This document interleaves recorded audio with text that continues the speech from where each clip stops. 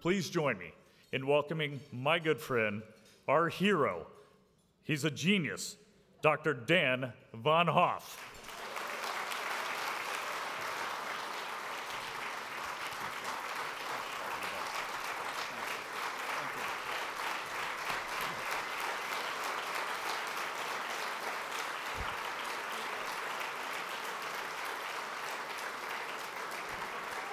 Thank you. Thank you. Thank you. Thank you, Derek, for that honor. And thank you for the ovation. And Roger, I don't think you're feeding us enough. it's been quite a weekend so far. We thank you very much. Uh, I have a little different title tonight uh, for this presentation. I'm going to call it Snakes and Zebrafish uh, which is applying the best science that we have against pancreas cancer as soon as we can. Now, Roger gives specific instructions, as uh, Derek knows. Uh, be here, he said. Well, I wouldn't miss this. We wouldn't miss it. Because we want to give you our profound thanks. No question about that. But whatever you do, limit your comments to 15 minutes. Actually, I think he said 20, so. Uh, well, everyone here tonight has exactly the same mission to cure pancreas cancer by finding new therapies for those who have it, early detection, and even prevention. That's our goal. But it remains a formidable enemy, as Derek said. It's the third leading cause of death. But you know, when you really think of it, it's because cancer, breast cancer, colon cancer, even lung cancer, those are starting to be conquered actually really dramatic improvements in survival. That's why pancreas cancer is getting uh, the number two pretty soon. And it's because if you can do things for those really tough ones, if you put enough resources into it and thinking, you can actually take out pancreas cancer too. So it's an important thing to remember that things are improving and we're just starting to see the use of these new therapies. Their full impact is not yet known. More important than statistics, many people will recognize some of the faces here of individuals we've lost, so we always think about the individual and treatment of the individual person. And we know also that pancreas cancer is hidden in the back of our abdomen, so it's very, very difficult to detect. If I can get it on here. Oh, it's very difficult to detect, and it's detected very late. This is what it looks like on CAT scan. We put uh, picture uh, pixels around it, and you can see the liver there and the fluid level in the stomach as we're eating, and that's the pancreas cancer sitting right there. Hard to detect, very silent area. Now, please get the word out, though, that you can survive this disease. These are the five years, and the five year survival was last looked at in 2011. Those are the official statistics. This is 2017, so there's a lag period. You can see here when it's localized to the pancreas, it's 32% live five years. If it's regional, meaning around the pancreas, it's 12%. It's getting better, but still. And if it's advanced metastatic outside the pancreas, it's 2 to 8%. So there's been a little progress, but not nearly fast enough. But from this slide, there's one important lesson. There is no such thing as early pancreatic cancer even though you think it's early. It's like everybody knew breast cancer, so, oh, we got it early because it was a small lump, and then the person was dead two years later. But what's changed is we've recognized there's no such thing as early disease.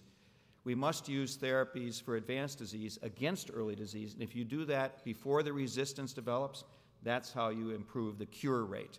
So anything we're going to talk about tonight in advanced disease applied earlier is likely to have much more dramatic effects. So it's bad, uh, but some people's docs say, not even worth trying. That's a mistake. We must get the message out that there are things worth trying. Now, the Seena Magowitz Golf Classic has supported the development of multiple new therapies. This has always been based, that's the emphasis tonight, on science. It's always based on science. So let's review the science we've used to exploit these vulnerabilities of this tumor. I've done here, I usually make bigger slides, but uh, this one, before the Seena Magowitz Classic, what we did is we grew the cells in culture, right? And you can see here, this was control, which lots of cancer colonies, and then the drug exposed, fewer colonies. Then we had the Seena 1 Golf Classic, and I'm sure Roger and others remember we said the pancreas cancer is surrounded by scar because there's a lot of inflammation. Pancreas is a bag of enzymes. And Abraxane might attack that scar. And you can see here the scar in the white arrows, and the tumors are not too many. It's actually a lot of scar. The Seena number two Golf Classic trial was the French had described a new regimen called FOLFIRINOX. So we said if they describe that, we've got this, put them together and see what you can do. We'll get to the results in a minute.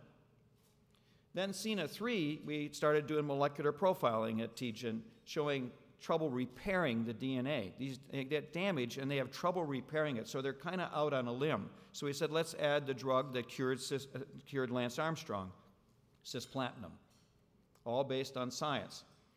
And then the mattress firm and Seena 4 Golf Classic got in, and we said, you know, high dose synthetic vitamin D can change the tumor microenvironment. We keep thinking it's the cancer that's causing the problem, but it's actually the surrounding that actually supports the growth. That was a, that was a difference. And finally, Sumer, uh, Seena 5 was tumors are out on a limb. We don't realize how nutritionally starved they are. They're way out on a limb. And if we could just increase the free radical, everybody's trying to decrease it, but if you could increase the free radical damage by giving extremely high doses of vitamin C, for example, maybe we could actually bump those cells off that are just out on a limb. And I put next, next, next. Now we've tried and this is always by getting up to a board every year to report, which many people have that experience, because we want to have progress. And we've tried to apply these things as rapidly as possible. So on this slide represents, Roger, all 14 years of this tournament. And I usually don't put everything on one slide, but I thought it would be important, and I've taken the important parameters, which are one year survivorship and two year survivorship. Since the Seena Magowitz started, historically, with the drug 5FU, only 2%. This is all metastatic patients with metastatic, only 2% survived one year. Nobody survived two years. Historically, we also did gemcitabine. Then we got it up to 18%, no two year survivors. And then Seena 1 came along with 66 patients.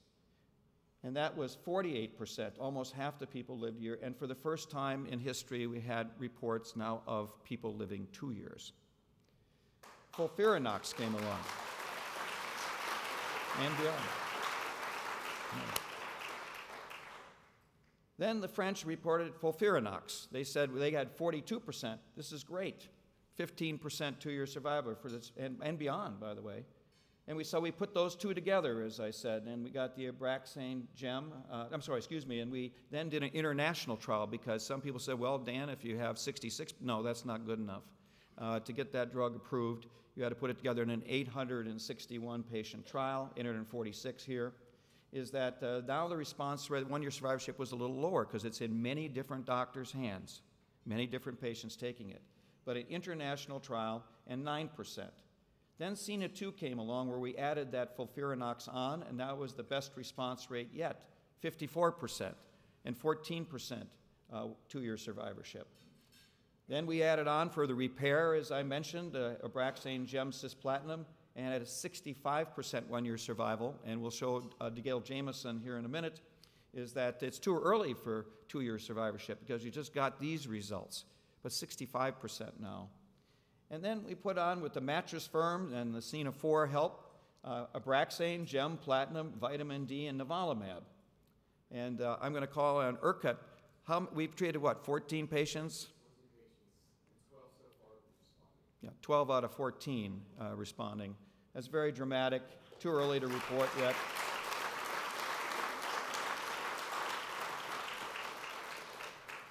And with the dollars, also, we started the other trial uh, raised from last year Abraxane, Gem, Platinum, and good old high, high dose vitamin C, ascorbic acid. And that's too early to talk about. But I want to tell you that one of the survivors here tonight I don't know if you can see this, but she started early with a little Tropicana going IV here. You'll hear from Jill here in a few minutes. That's not real, by the way. It's real Tropicana, but it's not what we use. So, the summary of support from this tournament has been that patients with stage four metastatic disease is the percent of patients with major tumor shrinkage. That would be people in pain, people who have obstruction, and perhaps operable. When we started with gemcitabine, it was 5%. But with Seena 3, now it's 71%. A three to four fold improvement in one year survivorship, and as you'll see, for the first time, two year, three year, four year, five year survivors. We're very appreciative of the support that made it happen.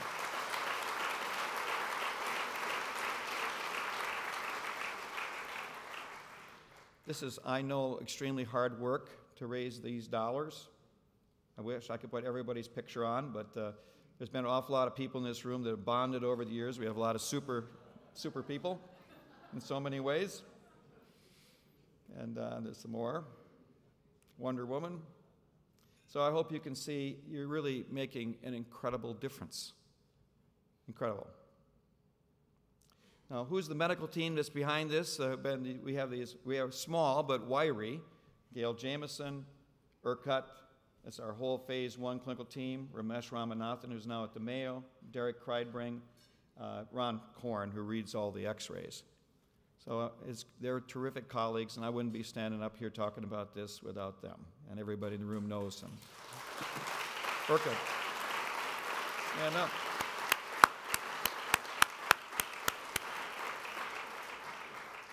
Why don't you stand up? Because you do a lot of work. Dale,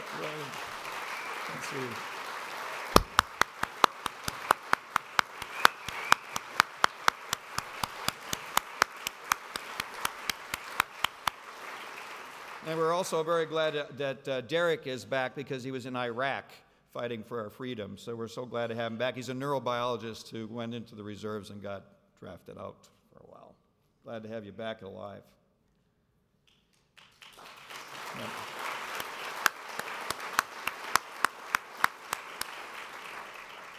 Now, people say, well, gee, if we can't get approval based on the 66, how many do you have to have? And here we are. We go, go out and try to get pharma support because to do a trial of 842 or 861 patients, you need to have around $120 million that has to be raised to do this. And we're very proud because right in this, uh, right with the Seena dollars in this tournament, all of these countries participated in this clinical trial, 151 different sites uh, enrolled, as you can see here. So if you get something promising in a pilot work done with this support, then you have something to go out there and get other people interested in helping support. But if we don't have this pilot information, we have no chance. The full impact of Seena 1, which is just the Abraxane plus GEM, has not yet been felt, but I want you to stay tuned because in a few months we're going to know more. Using this first regimen, you actually can get more people to surgery. In fact, for the first 25 that have been tried, who you couldn't operate on, 20 you could now get to surgery. The other big trial that's 1,100 patients all over the world is to try to do surgery. In, you do the surgery for operable patients, but you saw from the statistics, even though you think it's early, it still comes back. So then what you do after surgery is important. So now there's two, there's a major trial that's just finished with a Abraxane plus GEM, Seena 1, versus what has been the standard of care, gemcitabine alone. And Margaret Tempero from UC San Francisco is the principal investigator. And the endpoint for this is overall survival, and we're hoping that very early in the next year we'll have this result. This will have, if this improves survival after surgery, getting all those metastases you don't know about, this will really be a profound effect from Seena 1. Now, to put this in perspective, we've done this once before. How many other clinical trials have been done out there for patients with pancreas cancer? Big trials, 800 patient trials that actually worked and improved survival. So here we go. Gem trametinib, no, no, no, no, no, no, no. Yes, that's the first one we did with GEM5FU. No, no. No, no, no, yes, that was the French trial I talked about. No, no, no, no. No, no, no, no, yes. This represents 18,000 patients, but that yes was an improvement of seven days. No, no, no, no, no. No, no, no, no, no, no, no, no. Yes, Abraxane gem, Seena 1. No. Yes. This is one that we did with Stand Up to Cancer and it improved survivorship. and some of the people who did that are in the room here. No, no, no, no. Incredible that only, if you go back one for the bottom line, just back one for me, please. Only four out of 43, three of them came from this room that are positive.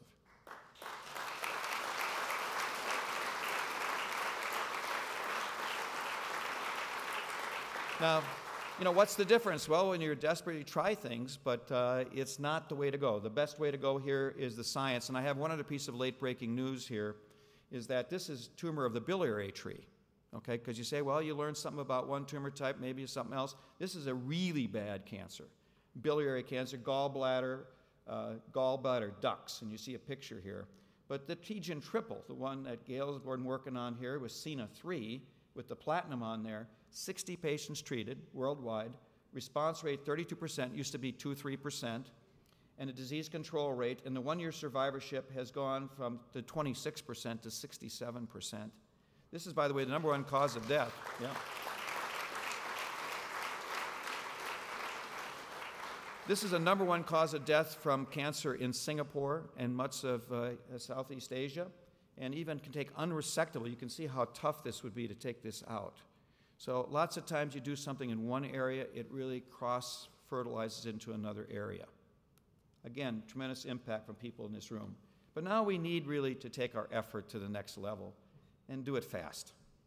The new science, that always works. And the new science is coming fast and furious, so it has to be applied fast and furious. And the faster we go, the fewer people are going to die from it.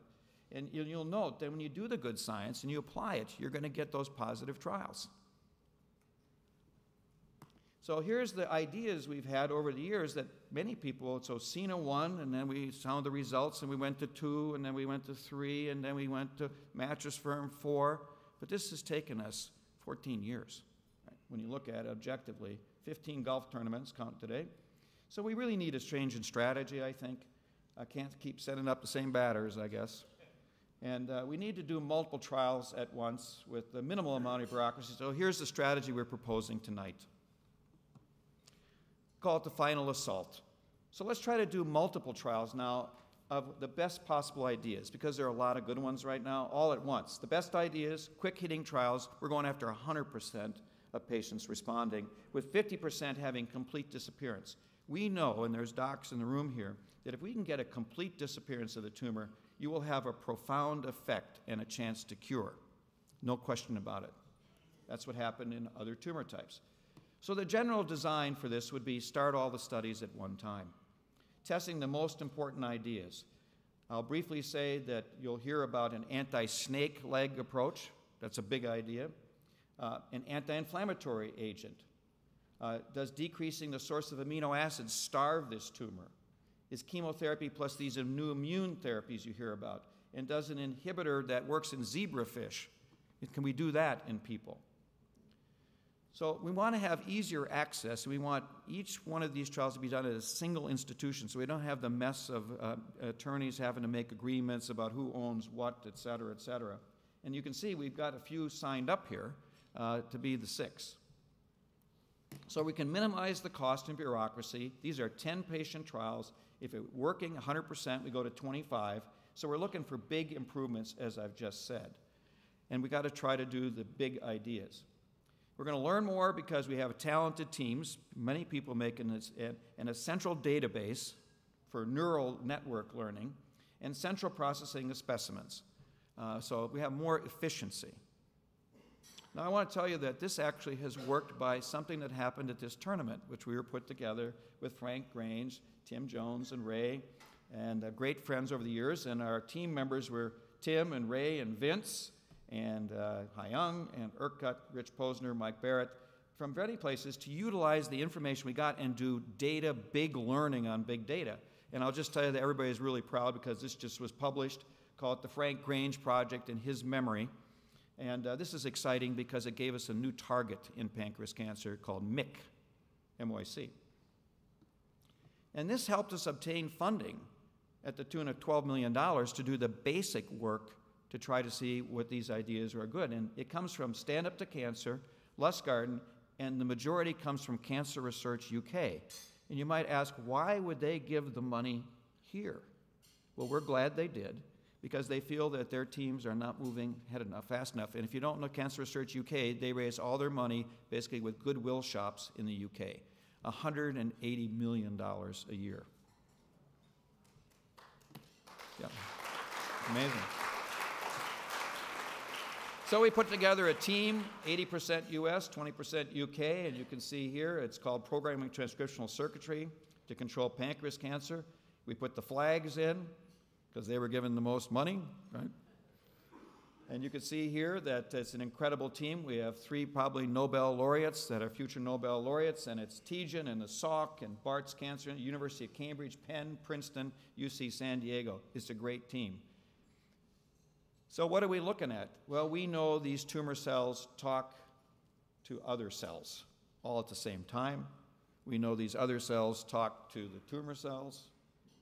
This is complicated. How can we cut the cord in any one of these? So, they have a lot of vulnerabilities, actually. They have a lot of vulnerabilities.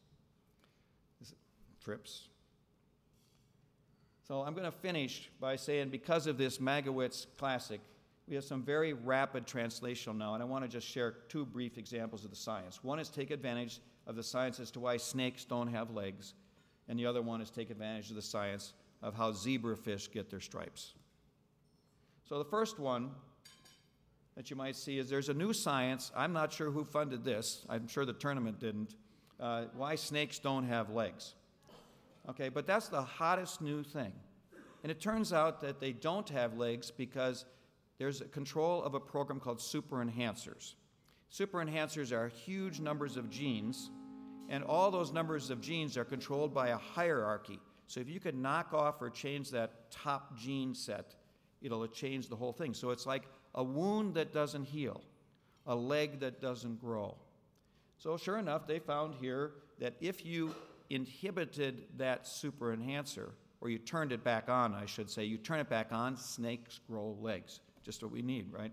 So, that's, but if you keep it, if you turn it off, the snakes don't get legs. So we figured that uh, if you can stop limbs from growing on a snake, stop a really bad thing because we don't want snakes, venomous snakes walking around, that you ought to be able to stop the pancreas cancer from killing and invading the person. And sure enough, there are agents that stop the snake legs growing, uh, and uh, would also do this. And it's paricalcitol, that's very high dose synthetic vitamin D. There's other drugs, I've got them all listed here. And actually, not only that is this interesting here, but it actually helps the immune system see the person's tumor. Now, every patient walks in and said, I want to get what Jimmy Carter got. It's an antibody. And now we're smart. One of those signals, these tumors are giving out do not eat me signals. These tumors are growing there for 21 years.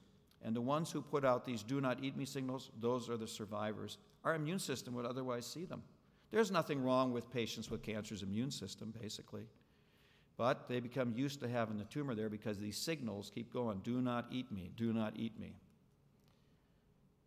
These are miracle drugs in melanoma and lung. Look at the number Hodgkin's disease, 100% of patients respond, kidney, head and neck, bladder, but only about 16 to 100%, but that's pretty good but there's never been one ever work in patients with pancreas cancer. Ever. You see it on Super Bowl, but they don't work against pancreas. It's driving us nuts. Usually, these anti super enhancers actually are put together, and that's exactly what Erkut is doing with the you know 11, oh, sorry, 12 out of 14 patients now, is to try to change that environment using anti super enhancers to get rid of those do not eat me signals and we think it may be working. Now, the second piece of science, briefly, is the zebrafish. And as you know, we're very lucky to have great lab folks that uh, Rogers interacted with. Pawan Noel, which we grabbed from the Mayo team, and Haiyong Han. And there's a new technique called single cell RNA seq. You know, what we've been doing is taking a patient's tumor, taking it out, biopsy it, and then mash it up, and then measure things. Wouldn't it be great if we could just measure every individual cell? So you could actually do that now. And uh, uh, you know, this is the tumors. Got, we know that there's about 20 different types of cells, normal and tumor cells, in a patient's tumor. And believe it or not, it took the invention of this machine, which is a bunch of razor blades that spin around, that you can actually make single cells.